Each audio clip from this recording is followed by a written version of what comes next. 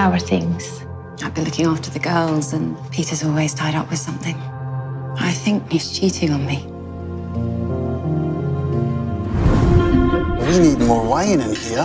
Henny.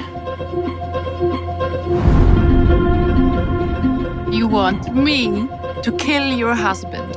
No one would suspect you. Money isn't a problem. How much are you prepared to pay? Let's go outside. In advance.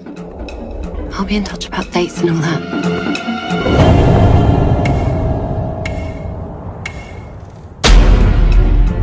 Are you alright? Where will you be staying? Why do you ask? I just sort of want to know where you are. Hello? I'm sorry, but what's going on? This is insane. We have to continue with our plan. There you are.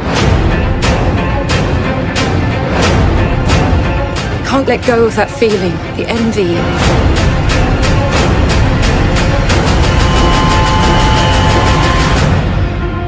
You know nothing.